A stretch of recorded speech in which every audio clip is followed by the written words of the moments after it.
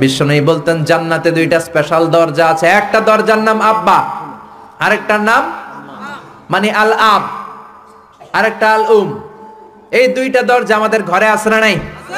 এজন্য বিশ্বনবী বলতেন, দুইটা দরজা তোমাদের ঘরে আছে। উমা জান্নাতু কাওয়া নারুক, বাবা মাই তোমার জান্নাত, বাবা মাই তোমার জাহান্নাম। এজন্য বাবা মার সাথে কেমন আচরণ করবা? তোমাদের decision the decision is yours তুমি ডিসাইড করবা তুমি জান্নাতে যাবা না জাহান্নামে যাবা। আপনি কপালে যত সেজদা দেন, যত কপাল কালো বানান, যতগুলো হজ করে আল হাজ